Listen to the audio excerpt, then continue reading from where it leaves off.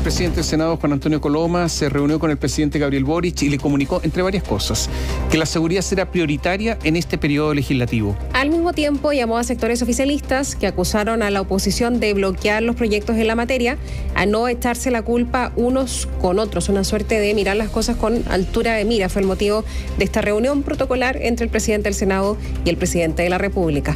Daniela Ruistagle nos va a contar los detalles. Hola Daniela, buenos días. ¿Cómo están? Muy buenos días. Eh, temprano por la mañana, el día de ayer, un grupo de diputados socialistas, además de la timonel del partido Paulina Bodanovich, llegaban al Palacio de la Moneda para reunirse con la ministra del Interior, Carolina Toá. La intención de los parlamentarios era acusar a la oposición. Según ellos, estarían bloqueando la agenda de seguridad del gobierno y estos emplazamientos eh, hacia el Ejecutivo por parte de la derecha se han ido intensificando. Este es el motivo por el cual eh, reclaman los socialistas.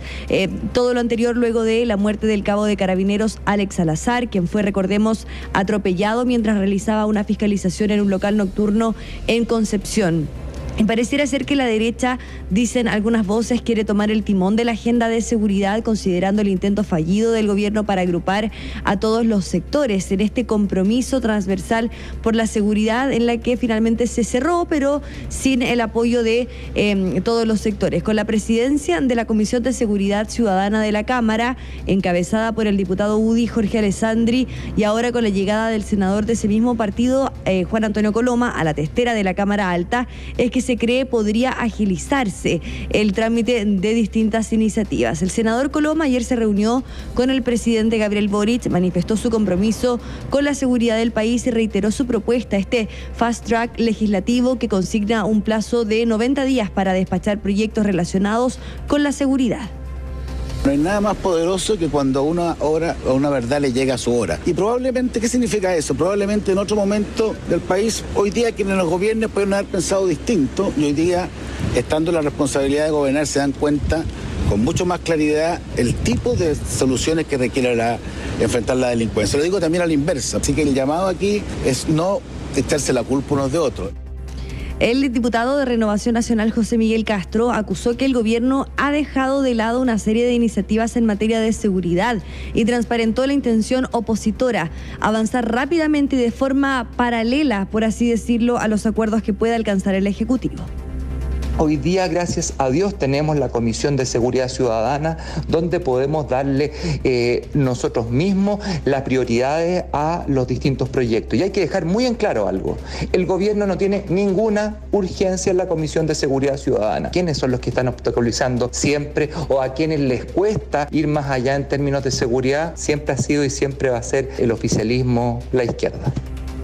Bueno, una especie de tira y afloja, eh, acusaciones cruzadas. Ayer el jefe de la bancada del Partido Socialista, Daniel Manucheri, al igual que el diputado Leonardo Soto, quien es vicepresidente de su colectividad, puntualizaron en la necesidad de sacar adelante estas iniciativas.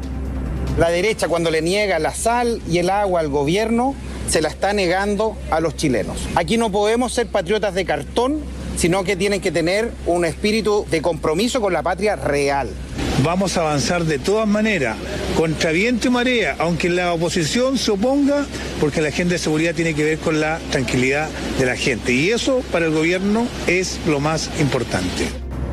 La vocera de gobierno Camila Vallejo espera que exista voluntad en el Congreso, ya que dice se ingresaron algunas urgencias la semana pasada, eso lo comentamos en su momento, dice precisamente para agilizar el trámite de los proyectos como el que modifica diversos cuerpos legales para mejorar la persecución del narcotráfico y el crimen organizado independientemente de que eh, no se hayan sumado todos y todas al compromiso transversal por la seguridad, esperamos que sí en el Congreso los votos, la disposición de diálogo, la disposición de llegar a acuerdo y en última instancia más los votos puedan estar a disposición de todos los sectores para encontrar cierto un mínimo común denominador que le permita a nuestro país robustecer su institución y particularmente las facultades de nuestras policías.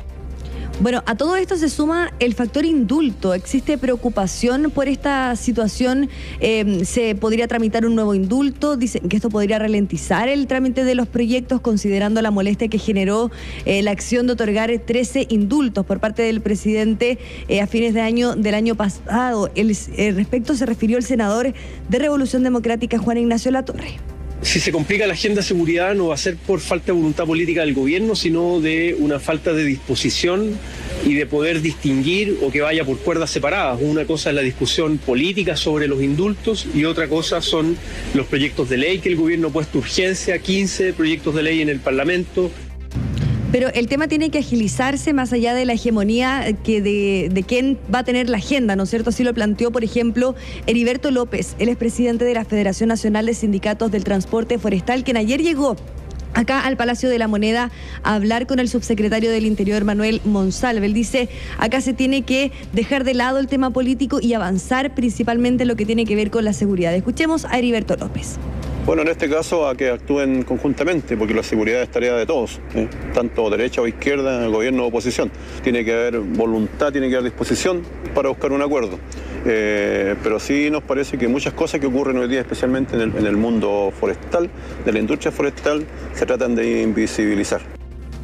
Bueno, hay varios proyectos que cuentan con urgencia, ya sea simple, discusión inmediata, eh, suma, son 16 proyectos en materia de seguridad que cuentan con las urgencias respectivas por parte del Ejecutivo en esta materia. Así que vamos a ver cómo va a avanzar la discusión en la Comisión de Seguridad de la Cámara, del Senado también, para poder finalmente sacar adelante los principales proyectos que buscan combatir el crimen organizado, la delincuencia, entre otros aspectos. Caterín Tomás. Oye, a ver, eh, sobre delincuencia... Eh, es evidente que hay un montón de problemas y ojalá que esto, avance. La llegada de Juan Antonio Coloma a la presidencia del Senado significa que se establecen los vasos comunicantes entre oposición y gobierno en materia de seguridad.